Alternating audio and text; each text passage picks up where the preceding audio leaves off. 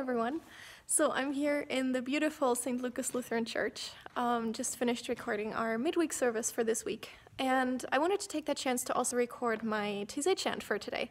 Um, the text that I had picked for our devotional was Jesus in the Garden of Gethsemane um, asking his disciples to stay close and stay awake and pray with him because he was so upset and scared. Um, and so the Taizé chant uh, that I picked is originally a German language chant, um, and it's literally the words that Jesus uses in, in this section of the Bible. Um, the translation would be Stay here with me, stay awake, and pray. So um, there is an English translation that goes with it, so I think, I think I'll sing it twice through in German and then twice in English.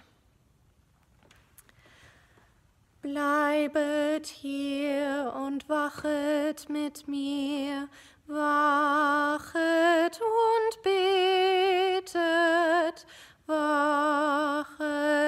und betet, bleibet hier und wachet mit mir, wachet und betet, wachet und betet.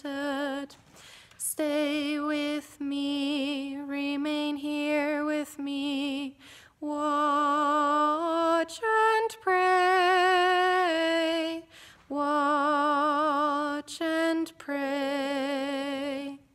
Stay with me, remain here with me, watch and pray, watch and pray. So there you have it. Again, a pretty short chant, um, but I hope you enjoyed it, and I hope that you'll join me tomorrow and the following days for the last four Taizé chants that I have for this year. Have a great evening, everyone.